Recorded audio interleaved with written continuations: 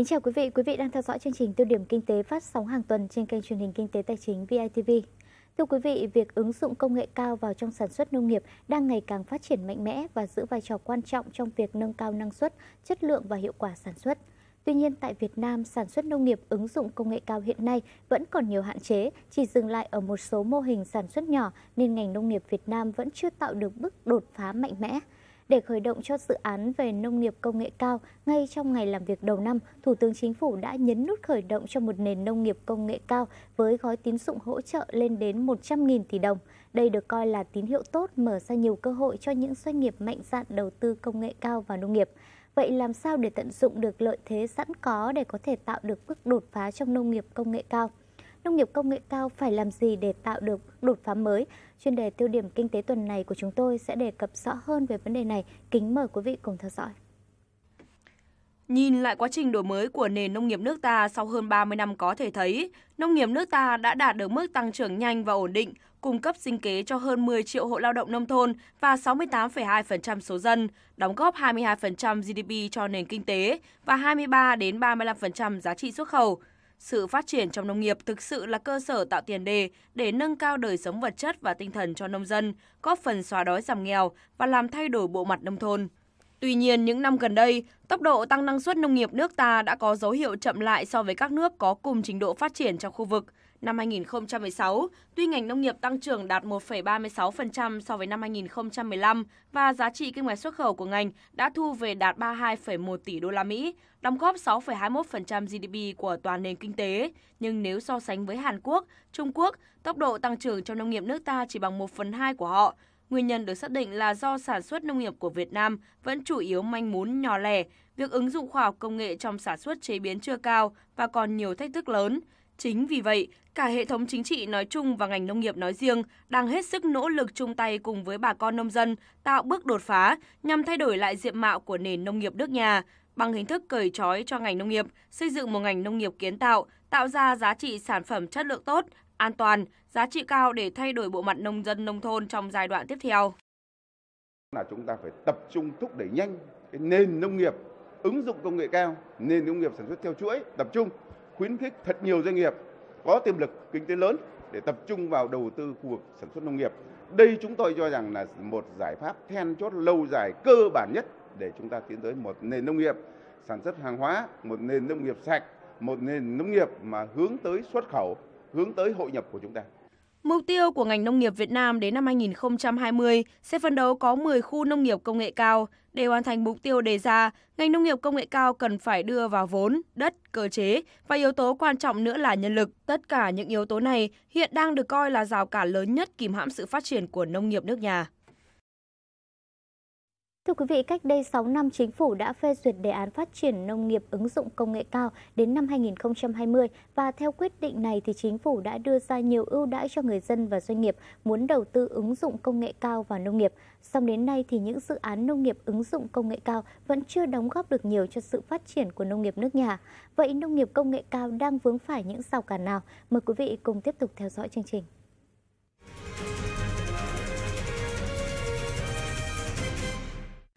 Rất nhiều doanh nghiệp muốn đầu tư cho nông nghiệp công nghệ cao đang loay hoay với quỹ đất chật hẹp manh mún nhỏ lẻ như chủ doanh nghiệp dự án rau sạch Ravi sau khi thỏa thuận với 4 hộ nông dân ở Hòa Bình, Yên Nghĩa, Hà Đông mới có chỉ 1.500 m2 để làm rau sạch. Với diện tích này, việc ứng dụng công nghệ cao vào sản xuất nông nghiệp là không có khả thi. Ví dụ cụ thể như là khi mà mình về đây mình làm ở vùng Hòa Bình thì đã có những trường hợp là mình làm với có giai đoạn là mình ngồi mình trao đổi với 10 hộ dân chỉ để có tổng một cái diện tích có 1.500 m2 rất nhỏ. Và họ không dồn điền đổi thửa ở vùng này.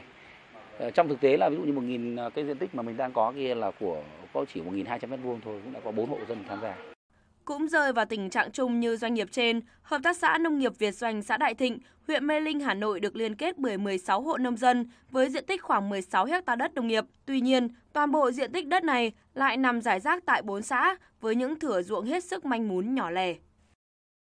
À, hiện tại của tất cả các thành viên chúng tôi là đang nằm trong cái tình trạng nhỏ lẻ. Ví dụ như là nhiều thì mới được có gần chục mẫu, mà ít thì một hai mẫu bắc bộ thế mà trong khi đó tôi, ừ, tôi đang cần một cái ờ, diện tích lớn để làm và để để sản xuất.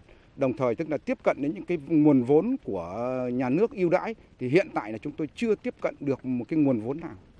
Mà tôi cũng đề nghị tất cả các cấp ờ, chính quyền địa phương hoặc là các cái cơ quan chức năng mà tạo điều kiện để chúng tôi có một cái quỹ đất chung và có một cái nguồn vốn để chúng tôi ờ, lao động sản xuất ừ, ra một cái Ờ, quy trình hoặc là một cái chuỗi làm sao để sản xuất ra nhiều những cái ờ, rau hoa quả củ quả sạch để phục vụ cho xã hội. Đơn vị này đang hoàn thiện dự án trồng dưa lưới, vùng quy hoạch để làm dự án nông nghiệp công nghệ cao tại tỉnh Hà Nam. Ông Đỗ Bá Vọng, Phó Tổng Giám đốc Công ty Cổ phần Giống cây trồng Trung ương Vinasit cho biết, được sự hỗ trợ đắc lực từ chính quyền địa phương tỉnh Hà Nam, công ty đã có gần 22.000 ha đất diện tích đất nông nghiệp để đưa khoa học công nghệ vào sản xuất. Tuy không gặp khó khăn về đất, nhưng các khoản vay tín dụng phục vụ cho dự án công nghệ cao vẫn chưa nhận được ưu đãi từ chính sách của chính phủ.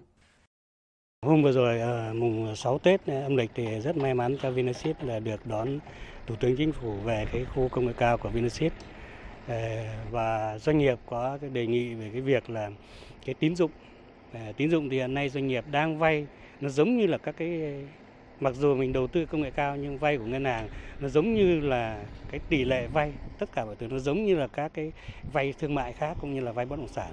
Cho nên về phía doanh nghiệp người rất muốn nhà nước là trong các cái doanh nghiệp mà thực hiện cái cái cái đề án công nghệ cao ấy, thì được cái chính sách tín dụng có thể là được ưu đãi hơn so với những cái ngành khác ví dụ như bất động sản hoặc thương mại ở một cái tỷ lệ nhất định. Thì hiện nay thì doanh nghiệp cũng chưa nhận được cái cái cụ thể cái đấy. Mà thủ tướng cũng đang mới nêu là sẽ có những cái chủ trương đó và sẽ yêu cầu là trong cuối tháng tháng 3 này thì một số bộ ngành sẽ phải có cái đó cho ưu tiên cho các cái doanh nghiệp hoặc công nghệ cao.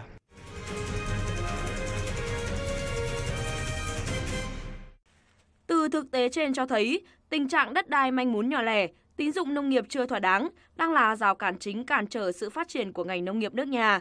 Các chuyên gia nhận định cần phải tháo gỡ nút thắt này, ngành nông nghiệp mới tạo được sự bứt phá.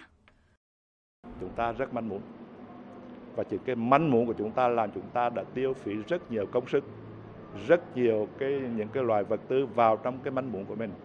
Cho nên cái đầu tiên tôi cho rằng là phải làm thế nào để chúng ta sản xuất trên một cái diện tích lớn. Khi có diện tích lớn thì chúng ta sẽ có thêm một cái khả thi nữa là công nghiệp hóa được. Cái nhỏ thì không công nghiệp hóa được nhưng mà lớn thì em sẽ đưa máy cày vào em sẽ đưa cái tất cả đều là là là công nghiệp hóa cả mà khi công nghiệp hóa được như vậy rồi thì em sẽ như thế nào? Là nó rẻ hẳn, không dùng nhân công nữa, hoặc là ít nhân công đi một máy móc làm rất nhanh. Ví dụ như thế, thì đó là những cái giải giải pháp mà làm cho mình mình có cái chất lượng, mình giá thành rẻ. Và như vậy thì mình sẽ dễ dàng vào cái thị trường hơn. Kinh nghiệm từ Hà Nam vừa rồi à, thì thấy rằng là từ tỉnh nhé cho đến huyện, cho đến xã, cho đến người nông dân cùng với nhau ngồi bàn bạc, thì người ta sổ đỏ vẫn đúc vào túi nhưng mà người ta tập hợp lại được và người ta lại có cái tiền để mà trả trong 20 năm thuê, sau đó người ta lại được vào làm công nhân trong cái chỗ ờ, làm rau này. Vâng thì như thế tức là người ta được giải quyết về quyền lợi. Và cái doanh nghiệp ấy sẽ là gì? Là doanh nghiệp không những chỉ doanh nghiệp đơn thuần, mà trong đó có người nông dân. Và nông dân sau này sẽ thành cổ đông của cái doanh nghiệp ấy. Như vậy là hai anh sẽ là một, chứ không phải là doanh nghiệp tách ra mà nông dân tách ra. Thì đấy là cái mà cái tích tụ dụng đất thì nhà nước phải đứng ra nhé để hỗ trợ để mà giải phóng thế còn một số cái nơi khác mà nó manh muốn rồi thì tất nhiên là phải tập hợp và tạo cái công an việc làm cho nông dân là cái chuyện khác. Còn nếu mà tập phu phu chung ấy thì mình sẽ theo cái cái bài học của Hà Nam vừa rồi là rất tốt. Ông Hoàng Trọng Thủy, chuyên gia nông nghiệp lại cho rằng chính quyền địa phương phải có trách nhiệm trong việc tuyên truyền đường lối chính sách của Đảng và Nhà nước, gắn quyền lợi của nông dân với sản xuất công nghệ cao, khi đó sẽ tạo ra tâm lý ổn định cho người nông dân. Có như vậy, họ mới yên tâm giao đất cho doanh nghiệp và nút thắt về đất đai sẽ dần được dỡ bỏ. Đảm bảo cho cái tình hình trật tự và an toàn xã hội trong sản xuất để làm sao doanh nghiệp yên tâm vào đầu tư và người ta không bị những cái cái cái cái cái, cái áp lực hoặc cái là những cái chuyện đấy mà đề phòng kể cả là người nông dân bẻ keo, sau khi mà người ta tập trung đất vào ờ, như vậy là ký hợp đồng trong vòng 10 năm chẳng hạn. Thế cơ mà 5 năm thì tôi thấy cái giá đất nó giảm đi, giá đất thị trường tăng lên, thế là tôi đòi. Một người đòi thì khó mà lại tập trung vào cả làng đòi, thì nó sẽ không bao giờ doanh nghiệp làm thì đấy là vai trò chính quyền, chính là nó nằm ở cái đó. Có nghĩa là anh tạo ra một cái nền tảng ổn định, an toàn mà ở đó có lợi cho doanh nghiệp và có lợi cho người dân và có lợi cho cả xã hội nữa thì cái vai trò của chính quyền địa phương cái cái cái trật tự và an toàn xã hội. Rõ ràng, điều mà doanh nghiệp mong chờ hiện nay là có được quỹ đất đủ lớn và nguồn vốn tín dụng ưu đãi để bắt tay vào sản xuất. Tuy nhiên, để tháo gỡ được nút thắt này, cần sự vào cuộc của cả hệ thống chính trị cũng như quyết tâm cao của toàn ngành, sự chung tay của toàn xã hội để ngành nông nghiệp có bước đột phá mạnh mẽ. Nhìn vào những mô hình nông nghiệp công nghệ cao trong thời gian vừa qua, có thể thấy những lợi thế mà nông nghiệp công nghệ cao mang lại như chi phí nông nghiệp được tiết kiệm hơn, sức lao động của con người được giải phóng, năng suất cao hơn, sản phẩm có chất lượng cao hơn và có thể đáp ứng được những đơn hàng lớn trong nước và xuất khẩu. Rõ ràng nông nghiệp công nghệ cao là hướng đi đúng đắn cho ngành nông nghiệp hiện tại và tương lai. Vậy ngành nông nghiệp ứng dụng công nghệ cao cần tạo ra đột phá nào để thu hút đầu tư mạnh mẽ hơn nữa của doanh nghiệp? Câu trả lời sẽ có tiếp trong phóng sự ngay sau đây. Ngày làm việc đầu tiên sau Tết Nguyên đán mùng 2 tháng 2, Thủ tướng Nguyễn Xuân Phúc đã nhấn nút khởi động khu nhà kính trồng rau sạch của dự án Vineco, sản xuất nông nghiệp công nghệ cao tại tỉnh Hà Nam. Tiếp đó ngày mùng 6 tháng 2, Thủ tướng dự hội nghị nuôi tôm tại Cà Mau, hội nghị Diên Hồng về lĩnh vực này để làm sao cho con tôm Việt Nam tiếp tục chiếm lĩnh thị trường thế giới. Hai sự kiện lớn này có thể nói đã thể hiện tinh thần cởi trói, kiến tạo của chính phủ cho nền nông nghiệp công nghệ cao ở nước nhà. Khi Thủ tướng đã nói rằng các doanh nghiệp có gì khó khăn không, thì nói là cái chuyện tích tụ dụng đất. Thì đấy, như là Hà Nam là bài học tích tụ dụng đất. Và thủ tướng nói rằng Bộ Nông nghiệp đã phát biểu trước Quốc hội và thủ tướng cũng đồng ý là để sửa đổi cái về nghị định về về và chính sách về đất đai để mà ờ, tích tụ dụng đất. Thì đấy là một cái tín hiệu rất mừng là là nhà nước sẽ hỗ trợ cái chuyện. Và người đứng đầu chính phủ đã hứa là cái chuyện đấy nếu anh làm nông nghiệp công nghệ cao làm nông nghiệp có giá trị thì sẽ được tích tụ dụng đất theo cái hướng mà uh, toàn xã hội cùng tập trung mà giải quyết chứ không bắt phải doanh nghiệp phải làm uh, như như như bây giờ. Bên cạnh đó, câu chuyện về gói tín dụng 100.000 tỷ đồng được Thủ tướng tuyên bố trong ngày làm việc đầu năm được coi là tín hiệu tốt khởi động cho chương trình nông nghiệp công nghệ cao. Tuy nhiên, các chuyên gia cho rằng không nhìn nhận gói tín dụng chính phủ ban hành là màu hồng. Ông Hoàng Trọng Thủy cho rằng nếu chính phủ không ban hành chính sách định giá, tránh tình trạng rủi ro cho ngân hàng, thì chính sách sẽ không đi vào thực tế. Vừa rồi thì à, theo cái nghị quyết ờ, với lại cái chương trình à, tái cơ cấu nông nghiệp thì à, có công bố ban đầu là 5.000 tỷ. Sau bây giờ thì Thủ tướng sau khi mà thấy cái phát triển của công nghệ cao thì vừa rồi công bố là sẽ đưa ra một cái gói gói 1.000 tỷ nhưng mà thực chất thì tôi đã ngồi với lại à, các cái ngân hàng thương mại. Thì người ta vẫn còn đang chờ đợi những cái chính sách cụ thể. Và người ta nói thẳng ra với tôi rằng là ít nhất một năm nữa mới giải ngân được. Vì sao? Vì cái thứ nhất đây là khi mà ngân hàng bỏ đồng tiền ra cho vay, thì người ta phải theo dõi đường đi của đồng tiền và hiệu quả của đồng tiền đi đến đâu.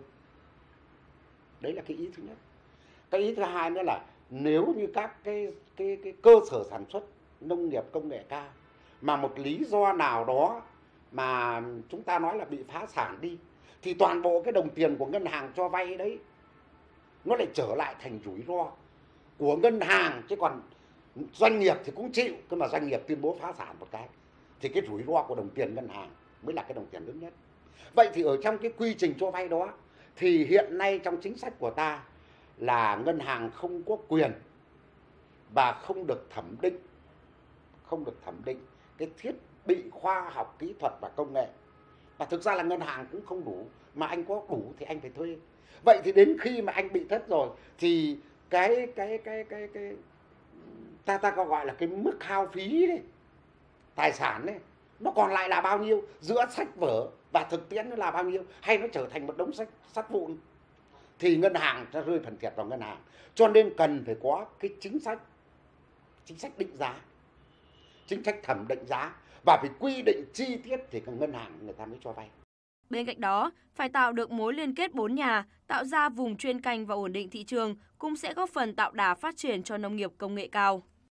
Mà chúng ta thường ấy thì nói là liên kết bốn nhà, tức là nhà nước, ờ, nhà uh, doanh nghiệp, nhà, nhà khoa học, nông dân nhưng mà chắc chắn bây giờ chúng ta phải bổ sung thêm một nhà nữa đó là nhà tư vấn hay nói cái khác là phải quản trị về nông nghiệp doanh nghiệp nông nghiệp còn nếu không ấy, ta có khoa học ta có uh, các cái thứ khác nhưng mà ta không giải quyết được cái uh, quản trị nông nghiệp hay nói cái khác là cái tư vấn ấy, thì chúng ta sẽ bị thất bại mỗi một nơi, mỗi một vùng nó sẽ có một cái công nghệ thích ứng. Và chúng ta phải làm như thế nào đó để mà chúng ta đạt được ba cái điều kiện như tôi nói hồi nãy. Cái đầu tiên hết là em phải đầu tư sao mà khi mà có sản phẩm nó phải có giá rẻ. Em đầu tư quá nhiều như vậy giá thành rất cao làm sao em bán được. Là điều thứ nhất. Điều thứ nhì mà tuy là giá rẻ nhưng mà nó phải có chất lượng và nó phải an toàn. Mục tiêu mà ngành nông nghiệp đặt ra đến năm 2020, cả nước sẽ có 10 khu nông nghiệp công nghệ cao sẽ khả thi hơn nếu ngành nông nghiệp mạnh dạn hơn nữa trong việc tạo ra cơ hội, chính sách phù hợp để thu hút doanh nghiệp và các nhà đầu tư cho nông nghiệp công nghệ cao. Bên cạnh đó, việc đào tạo và hỗ trợ cho người nông dân trong sản xuất với sự đồng hành của mô hình 4 nhà, ngành nông nghiệp sẽ tạo được bước đột phá mới cho giai đoạn tiếp theo. Thưa quý vị, doanh nghiệp đầu tư ứng dụng công nghệ cao đang là đối tượng được hưởng nhiều chính sách ưu đãi của Đảng và Nhà nước. Tuy nhiên, các chuyên gia và doanh nghiệp đang mong chờ một cơ chế chính sách cụ thể đi vào thực tế để nông nghiệp công nghệ cao thực sự được khởi động, chứ không phải là chính sách trên giấy như hiện nay, ghi nhận sau của phóng viên kênh truyền hình VITV. Về phía doanh nghiệp thì rất mong muốn những nhà làm chính sách cũng như những hoạt định chính sách đấy thì có thể là thường xuyên đến doanh nghiệp cũng như đến với bà con nông dân. Còn nếu như chính sách chúng ta có làm ra nhưng mà doanh nghiệp không thực hiện được mà người dân không thực hiện được thì cái chính sách đó vẫn còn có rất nhiều hạn chế. Rất mong là về mặt nhà nước, những người làm chính sách nên gần doanh nghiệp nhiều hơn nữa và gần với người nông dân để biết rằng nông dân cần gì và doanh nghiệp đang cần gì. À, tôi cũng đã đi một số các cái cơ sở, các cái doanh nghiệp mà người ta đã sản xuất nông nghiệp ứng dụng công nghệ cao thì có rất nhiều ý kiến là đề nghị nhà nước là cần phải xem xét lại cái chính sách như vậy là nhập thiết bị công nghệ cao vào sản xuất thì gần đây vẫn là đánh đánh đánh thuế là 25%, thuế nhập khẩu 25%. Thế là cộng với lại 10% thuế giá trị gia tăng. Như vậy là nguyên cái đó nó đã lên đến 35% rồi. Thì đây là một cái mức mà doanh nghiệp là người ta cho rằng ấy là là là là quá lớn. Cho nên là nếu như mà anh mà khuyến khích cái công nghệ đó thì anh phải có chính sách ưu đãi cho nó. Mà cái ưu đãi chủ động nhất đó là chính sách thuế mà có thể anh ban hành được, không cần lấy ý kiến của nhân dân. Thì đó là những cái mà chúng ta cần phải thao gỡ về mặt chính sách. Thì tôi cho là bên cạnh cái đất đai, thì thì thì thì vấn đề như vậy là chính sách về thuế. Chính sách về cho vay vốn là là là hiện nay đang làm cái rào cản đầu tiên. Nó sinh ra cái sự chập chờn của các cái doanh nghiệp làm và không làm. Là phải coi khoa công nghệ là động lực của sản xuất. Thứ hai là phải coi cái công nghệ sau thu hoạch tức là sau khi sản xuất ra rồi, thì anh phải chế biến, anh phải an toàn thực phẩm, thì lúc ấy cái sản phẩm mới tiêu thụ được. Và anh phải xây dựng được thương hiệu để xuất ra thế giới cũng như là trong nước, thì lúc đó anh có thể tồn tại được. Và còn những vấn đề khác như là tích tụ dưỡng đất hay là vấn đề về vốn, thì nhà nước sẽ hỗ trợ. Nhà nước người ta tạo ra cái chính sách, hoặc là ví dụ cái tiếp xúc thương mại hoặc là vấn đề về đào tạo tập huấn về khoa công nghệ. Một doanh nghiệp khởi nghiệp làm sao đã có những nhà khoa học nổi tiếng được thì anh phải có cái hỗ trợ nhà nước ấy, sẽ hỗ trợ cho các doanh nghiệp những cái chính sách về tín dụng chính sách về tích tụ dụng đất. Chứ bản thân doanh nghiệp không thể làm nổi cái đó thì nhà nước sẽ hỗ trợ cho thì sẽ gỡ được cái nút thắt. Các viện nghiên cứu phải được phát triển ở ngay trong khối tư nhân và kết hợp giữa tư nhân với nhà nước để mà à, làm những hình thức liên kết công tư trong khoa học công nghệ. Chúng ta phải xây dựng các chuỗi giá trị và phải có các viện nghiên cứu, các trung tâm nghiên cứu về thị trường, dự báo tình hình cung cầu thế giới và thông tin rộng rãi cho tất cả bà con nông dân. Phải có các dịch vụ thật tốt để hỗ trợ cho doanh nghiệp, đặc biệt là doanh nghiệp vừa và nhỏ tiếp cận thị trường, phát triển thị trường.